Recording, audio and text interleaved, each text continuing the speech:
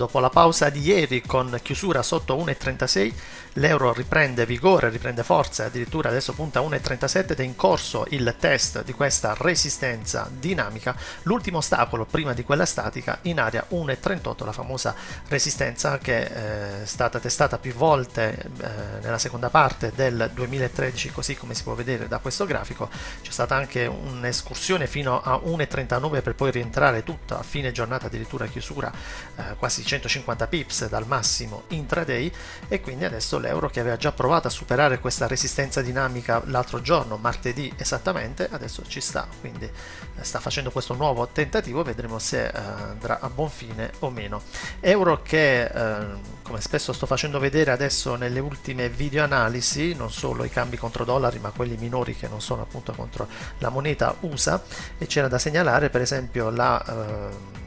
buona intonazione dell'euro contro l'australiano, che quindi è supportato dall'andamento dell'euro contro dollaro e dal calo dell'australiano contro il dollaro americano in seguito ai dati sull'occupazione pubblicati questa notte durante la sessione asiatica che sono stati molto negativi e quindi Eur Audi che da ieri sul supporto in area 1,50 è già rimbalzato di 150 pips e adesso è in fase di test di questa resistenza dinamica.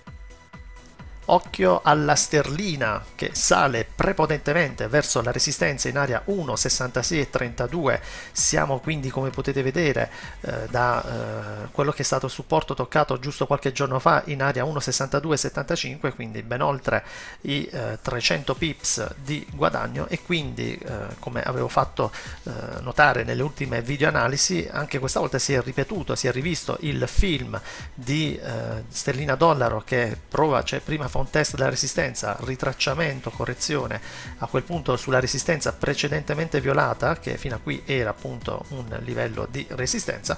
poi una volta violato diventa supporto e da quel supporto poi c'è stato lo spunto per ripartire al rialzo e a questo punto ha poche possibilità di tenuta questa resistenza in area 1.6632 il consiglio è di monitorare eventualmente più quella che si trova più in alto di 100 pips una figura circa e quindi sterlina che eh, davvero non conosce sosta questo rialzo che dura oramai dal luglio e eh, in caso di violazione dobbiamo tornare indietro nel tempo a maggio 2011 vedete la resistenza che aprile tra aprile e maggio 2011 e poi successivamente giusto per vedere la situazione ancora più indietro nel tempo il successivo livello è in area 1,70 e 30 ma a questo punto vedendo in base a quello che è accaduto in passato probabilmente ci sarà il superamento di questa resistenza e una pausa ci sarà qui con probabile ritracciamento e poi da lì vedremo se ci sarà l'ennesima ripartenza al rialzo. Questa mattina ci sono movimenti interessanti sul mercato delle valute, anche il dollaro yen dopo aver eh, sostato su questa resistenza di brevissimo in area 102,50 in questo momento come vedete sta venendo sotto, sta perdendo quota 102 ehm, ho già sottolineato in passato la stretta correlazione con il mercato azionario con lo Standard Poor's 500, l'indice americano che in questo momento sta eh, eh preannuncia un'apertura negativa, anche lo stesso indice Nikkei giapponese ha chiuso con quasi due punti percentuali